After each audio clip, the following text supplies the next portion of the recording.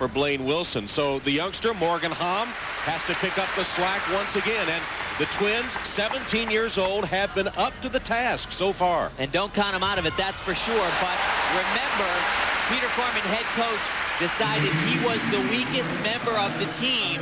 That's why he wasn't scheduled to compete. He's going in the last spot. This is not one of Morgan's best exercises. Right off the bat, there's an element that he really struggles on. It's the second skill that he'll do. Comes up right after this.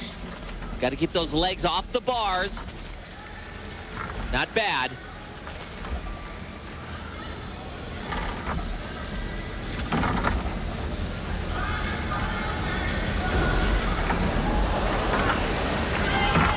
And you know, this guy, he probably didn't even warm this event up prior to the competition. That's amazing. Don't be misled by that baby face. This guy's pretty tough. Called out of the bullpen, so to speak, to replace John Roethlisberger, who was injured. And Peter Kormann, who made that decision, sees it pay off. So Blaine Wilson had the low score, but Hamm's score will knock Wilson's out and put the U.S. a step closer to the finals.